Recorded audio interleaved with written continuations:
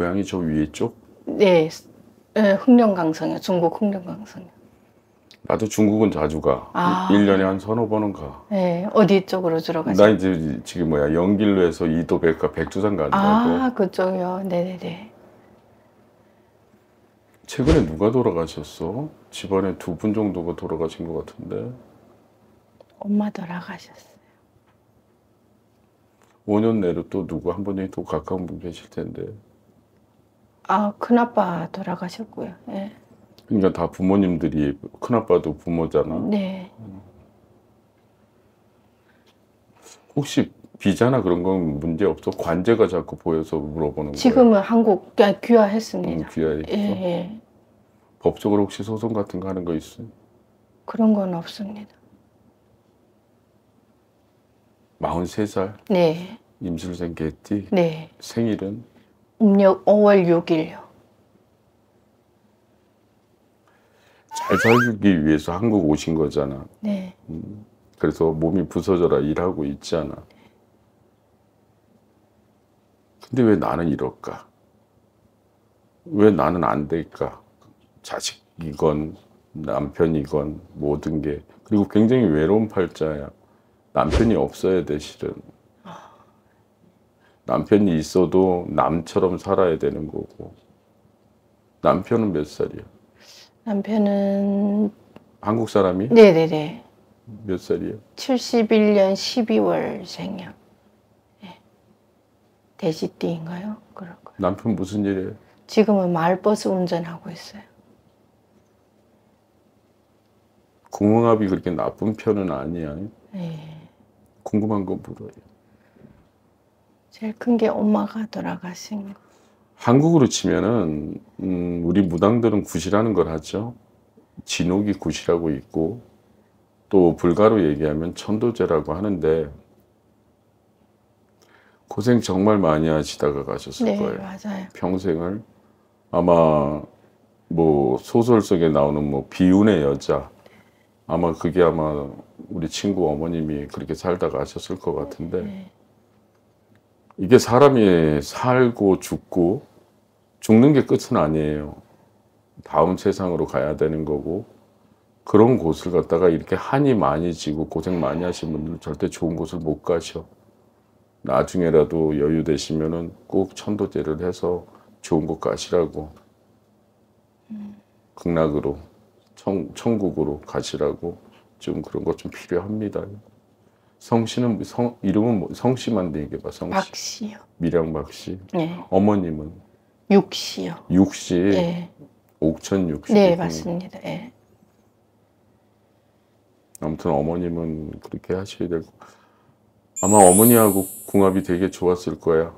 아, 엄마하고 모녀 간의 관계가 굉장히 좋았고 엄마가 돌아가시면서 아마 가슴 반쪽이 아마 없어졌을 거예요. 마음 반쪽이.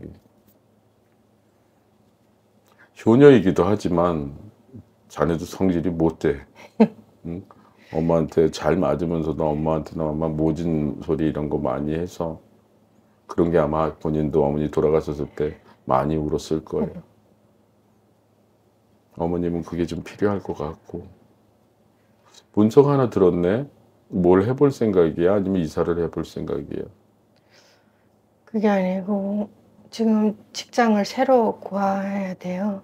그, 또 나이도 있다 보니까 뭘로 마흔셋밖에 안 먹어놓고 무슨 언제 또 구해질지 아니야 문서훈이 들었으니까 요새는 직장을 들어가도 근로계약서 뭐 이런 거 쓰잖아. 네네. 문서훈이 들었으니까 아마 직장 구해보시면 바로 찾아질 거예요. 또 조금 조금 더 걱정되는 거 제가 외동딸이거든요. 음. 지금 엄마랑 아빠랑 같이 사시다가 엄마가 돌아가셨잖아요. 아빠도 엄마 아픈 걸 쭉 봐왔잖아요. 아빠도 계속 좀뭐 뭐 연세했으니까 아, 아버지도 한국에 계셔. 예. 몸 같이 모시고 있어. 아버님 연세는 어떻게 되셔? 토끼띠 74세입니다. 51년생이요. 이게 참 윤회 같은 거지. 엄마 아빠도 열심히 일만 하시고 사셨어. 근데 삶이 그렇게 나아지질 않으셨어. 번다고 벌었는데 약값으로 네. 또 이런 걸로 병원비로 엄청 많이 나갔을 거예요. 돌아가신 어머님을 욕하는 건 아닌데 우리가 귀신이 없다 소리를 못 해요. 네. 어머님의 잘못이고 아버님의 잘못이라면 딱 하나. 조상을 좀 위하고 사셨어야 돼. 지금 우리가 또 우리 친구도 지금 어머니 아버지처럼 안 살라는 법 없어요. 본인도 열심히 살잖아. 네. 근데 엄마 아버지도 이렇게 당신들이 살다가 이렇게 생을 마감하고 떠날 줄은 모르고 사셨던 거라고. 본인도 본인이지만 이제 본인의 자식 때 아이 둘을 줬을 텐데 아이는 없습니다. 그럼 지워진 거야 흘린 거야 어, 분명히 둘을 하나는 줬었는데 예, 20대 때 한 번 지우긴 했어요. 그리고 없었어요. 그러니까 어떻게 보면 봐봐 본인도 특별하게 어떻게 보면 평범하지 못하게 살잖아 이 내력이 이 육씨 집안내도 강하고 또 박씨 집안내도 강한데 그리고 또 할아버지 세대 그 위에 세대에서는 할머니들도 또한 번씩 더 계셔 복잡하다는 거지 집안 내력이 아무튼 본인도 공 좀 드리고 사셔야 될 것 같고 아버님이 토끼띠 같이 지금 내년에 또 삼재를 만나실 거야 더더욱 몸이 안 좋으실 거예요. 그리고 또 어머님이 돌아가신 이 초상의 기운 이게 본인한테도 남아 있는 거고 네. 아버님한테는 더 남아 있는 예, 거거든. 예. 그런 안 좋은 기운이 있으면 몸이 절대로 좋을 수가 없어. 안 좋은 기운이 나한테 와 있으면 없는 병이 생기는 거고. 그리고 또 우리 친구도 건강해 보이지만 절대로 건강하지 않아. 내장기 계통, 부인과 계통, 자네도 다 안 좋아. 몸만 좀 클 뿐이지 뼈 마디마디 안 쑤시는 데 없고 손가락 마디마디 몸 고생을 그렇게 했니? 43밖에 안 됐는데. 응? 그거 봐. 그러면은 뭔가 누군가 보이지 않는 존재가 나 좀 도와줘야 된다는 거지. 그 안 좋은 기운이 있을 때는 절대로 좋은 일이 생길 수가 없어. 그러니까 안 좋은 기운이라 하는 거는 어머님이 가시면서 이 초상의 기운, 상문의 기운이 일차적으로 없어져야 다시 말해서 어머니가 좋은 곳으로 천도가 되셔야 아버지 건강도 괜찮으실 거고 자네도 괜찮을 거고 그게 좀 필요할 거예요. 그리고 직장은 알아보면 바로 구해질 거고 남편이 그게 있어 사람 자체만 너무 좋아 빠진 사람이야. 무슨 말인지. 알겠지? 예. 그냥 귀도 얇고 그리고 또 천성이 사람이 좋아서 예. 자기는 없으면서 부모 형제 도와주고 살아야 되는 사람이 자네 남편이야. 성실을 하는데 정말 성실하는데 남편이 나하고 동갑이거든. 예. 71년생 같으면은 예. 근데 정작 자기 거를 못 찾아 먹는 사람. 아마 자네 부모님들한테도 잘할 거야. 네. 어른들한테도 잘할 네. 거고 실속이 없어. 실속이. 그리고 좀 한 자리에 오래 있지를 못해. 남편이요. 음, 일 같은 거를 갖다가 마을 버스를 하고 있으면 마을 버스 하는 이유는 시내 버스를 끌기 위해서 하는 거잖아. 예. 좀 잘 참고 견뎌내라고 그래. 왜냐하면 남편도 내년부터는 삼재란 말이지. 아. 예. 그러니까 가장 큰 건 그거야. 본인도 촉이 되게 좋아.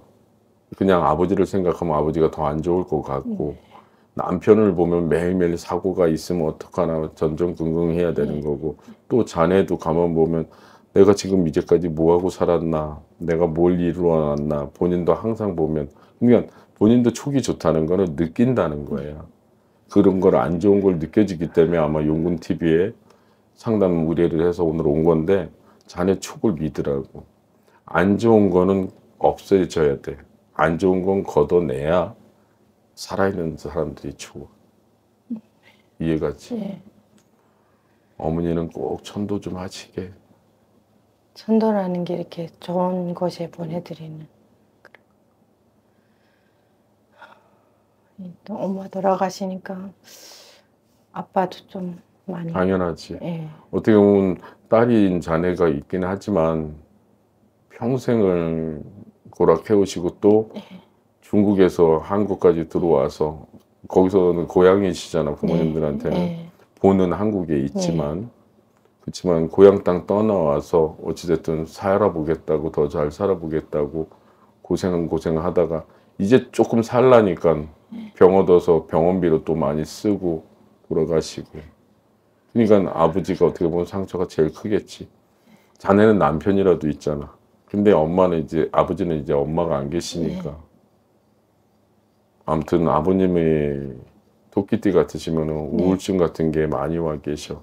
그러니까 맛있는 걸 뭘 먹어도 맛있는지를 모르시고 네. 어디 좋은 데 바람 쐬러 가자고 그래도 모든 게 만사가 거예요. 네. 그러니까 그 얘기는 뭐냐면 내 삶을 놓게 되는 거예요. 예, 좀 그런 것 같아요.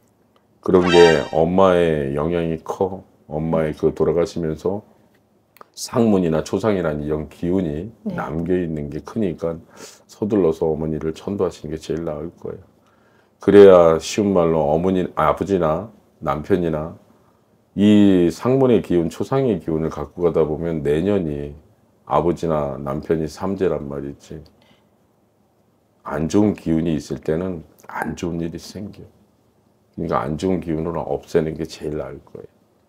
어머님이 저 세상을 떠나신 게, 떠나시면서 좋은 곳으로 가신 게 아니기 때문에 그런 거예요. 귀신의 손은 가시손이라고 그랬어. 엄마가 한이 원이 많아서 그런지 아직 못 떠나고 계신 것 같이 보여져. 그래서 자네 꿈자리에도 자주 나타나고 그러실 거예요. 그 천도제는 돌아가시고 나서 얼마 있다가 하는 거예요. 하루라도 빨리 해드리는 게 좋지. 아, 저- 어차피 이승과 저승은 분명히 나눠져 있고 네. 어머님이 다시 건너올 수 없는 강을 건너셨기 때문에 이왕이면 좋은 곳 가시는 게 낫지.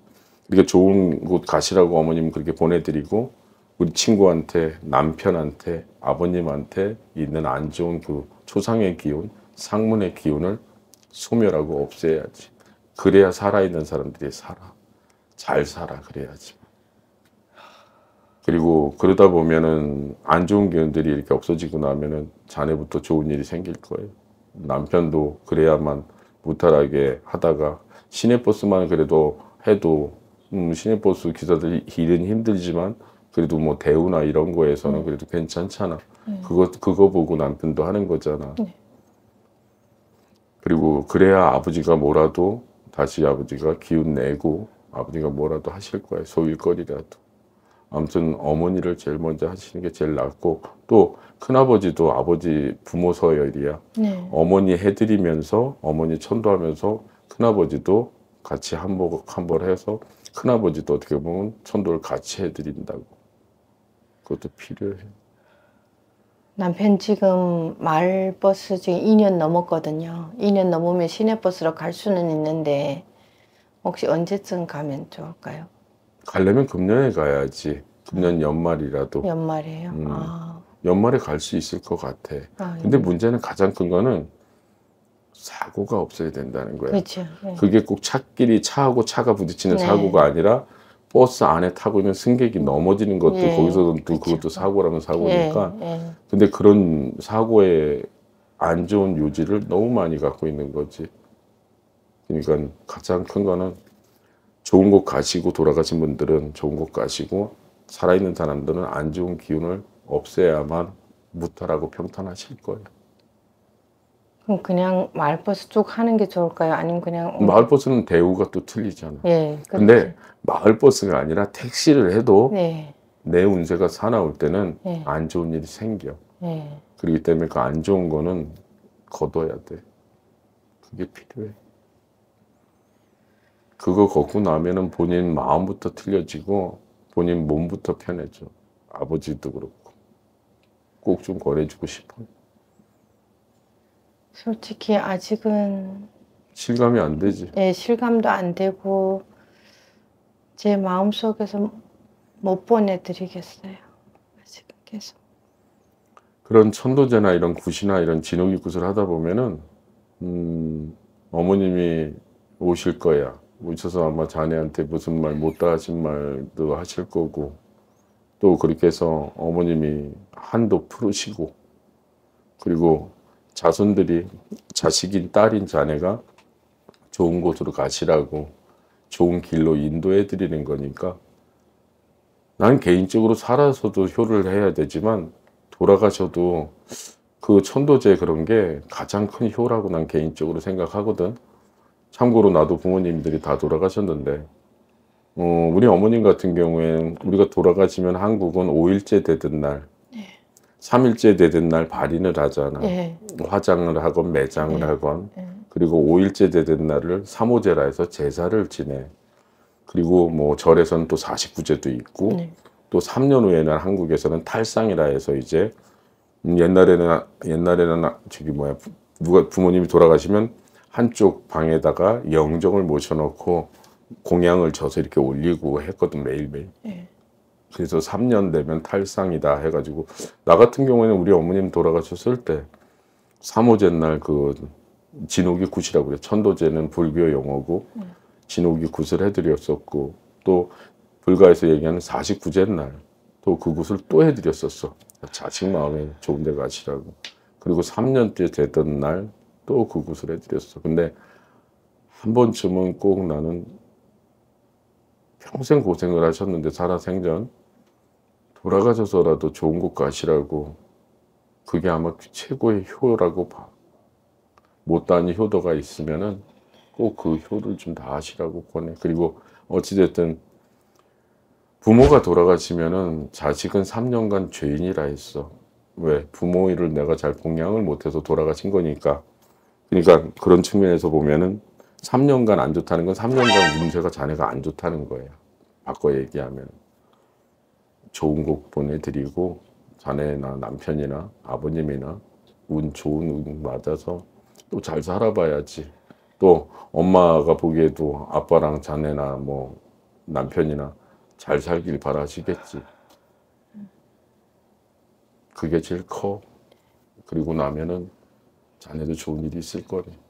그리고 아버지한테 더 효도하고. 너 정말 못된 게 있어. 그 엄마 아빠를 지가 다 이겨먹고 이제서야 후회하고 지랄이야. 근데도 봐. 그러면 엄마가 가면서도 이제 아빠도 있으면 아빠한테 잘해야지 하면서도 네가 또 잘 안 돼. 아빠한테 모진 말 한마디씩 하고 응, 네가 되려 어른이냐. 근데 그걸 너도 모르게 하는 거야. 내가 이러지 말아야지 안 해야지 하면서도 하는 거라고. 예, 맞아요. 그러지 마. 처자식 있는 사람보다 부모님 계신 사람이 나 제일 부러워. 지금 자네는 되게 복 많은 거야, 그래도. 아무튼 하루빨리 네. 어머님 천도 행이 예.